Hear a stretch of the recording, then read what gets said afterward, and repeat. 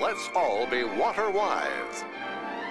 Step in on the center line and keep the boat steady.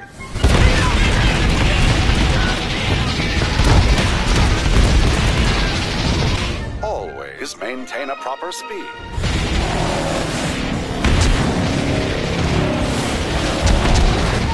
When in trouble, a signal should be fired immediately.